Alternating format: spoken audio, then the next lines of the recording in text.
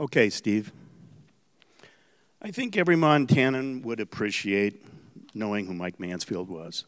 His life is an epic Hollywood movie, complete with a love story, historical drama, political intrigue, and heroism. His was a life and a career that can make all Montanans proud. From 1943 to 1988, Mansfield was a Montana congressman and senator, and then the ambassador to Japan. He remains to this day the longest serving majority leader in the U.S. history, and also the longest serving ambassador to Japan, appointed by both Presidents Carter and Reagan. in, the Washington Post called him the greatest living American. Senator Hugh Scott, a Republican leader, said, he was the most decent man I've ever met in public life. Journalist Don Oberdorfer called him one of the most admired figures of the 20th century and a man of genuine humility. He was known in Congress for being honest and fair, for being a listener and a man of few words.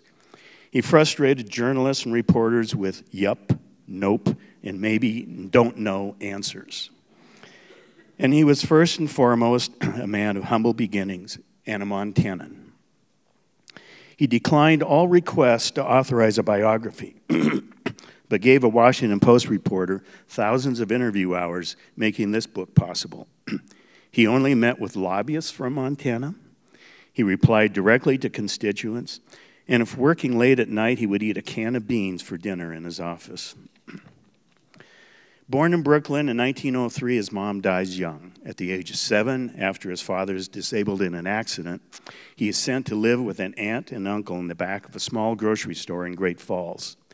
He becomes a habitual runaway, is placed in the Twin Bridges orphanage, and eventually becomes a teenage hobo. During World War I, at the age of 14, he forges his enlistment in the Navy, serving on the USS Minneapolis in the submarine infested Atlantic. When discharged, he joins the Army for two years and then joins the Marines, serving in the Philippines and China, sparking an intense interest in the Far East. In 1922, he comes home to the only work available shoveling ore in the Butte mines, where deaths averaged two per week.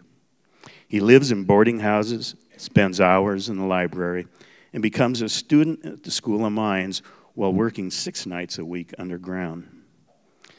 In 1928, six years into mining, he falls hard for a school teacher, Maureen Hayes, and vice versa. Mike says, She brought out the talk in me. Suddenly, I had a new friend, perhaps the only genuinely close friend in my life. She becomes the major force in his life. When Congress establishes a foundation in his honor, he insists it be named the Maureen and Mike Mansfield Foundation. And the same when the University of Montana wants to name the library after him. He agrees to a statue in the state capitol in Helena only if it depicts both he and Maureen. It is Maureen who urges him to go to college and pursue his interest in history and Asia. Since he never went to high school, the University of Montana reluctantly accepts him as a provisional student. From 1933 to 1944, he earns a bachelor's and a master's and becomes one of the most popular professors on campus. Urged by others in 1940, he runs for Congress but loses. Following Pearl Harbor, he runs again, winning 60% of the vote. In December of 1942, Mike Maureen, and three year old daughter Anne drive an old battered Ford across a frozen nation to war dominated Washington. He quickly becomes the Far East expert in Congress. In 1944, Roosevelt sends him to assess the U.S. fight against Japan in Burma, as well as the Civil War raging in China.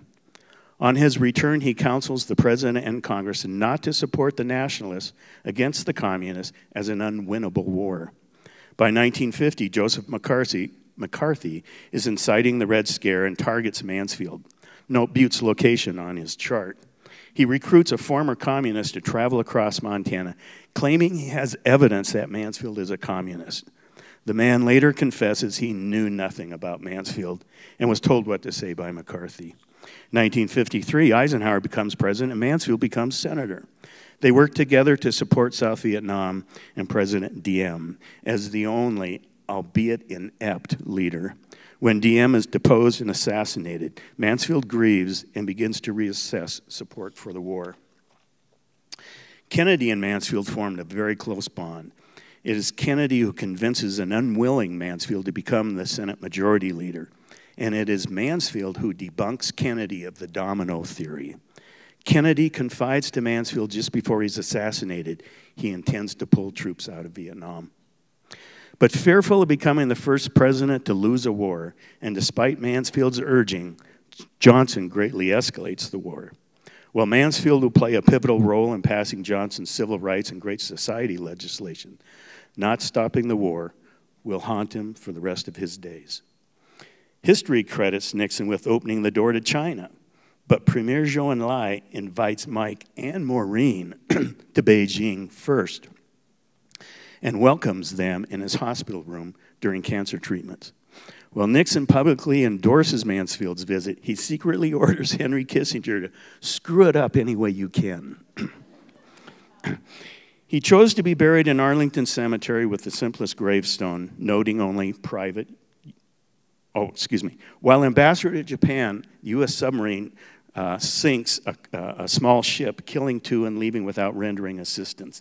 He makes a very public apology, um, and the Japan press says, A giant walks among us.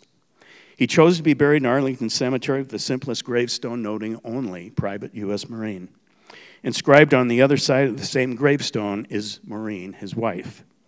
He said his proudest achievement was stopping the expansion of Flathead Lake his greatest failure was not ending the war in Vietnam, and his greatest wish was just to be forgotten. Thank you.